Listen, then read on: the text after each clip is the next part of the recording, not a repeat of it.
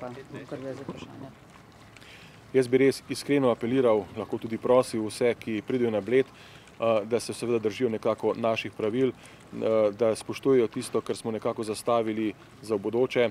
Seveda vsi res iskreno dobrodošli na Bledu, da ne bo napačno izpadlo, povsem pa razumem, da ko nekdo pride na dopust, se želi malo, bom rekel, brezskrbno podati na teren.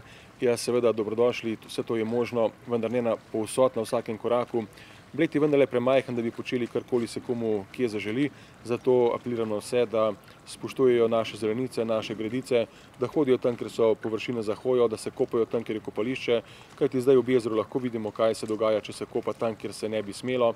Tam ni več zelenic, tam je vse skupaj samo še neko blato in ko dež izpere blato, je drevje brez korenin, ko je drevje brez korenin, začne padati nekontrolirano in potem začne obnašati erozija še obalo. Tega pa ne želimo, ker želimo dati, predati naš Bled po naših mandatih našim zanamcem boljšega, kot smo dobili, takšnega, kot je recimo na fotografijah pred dolgimi, dolgimi leti. Hvala lepa. Prosim.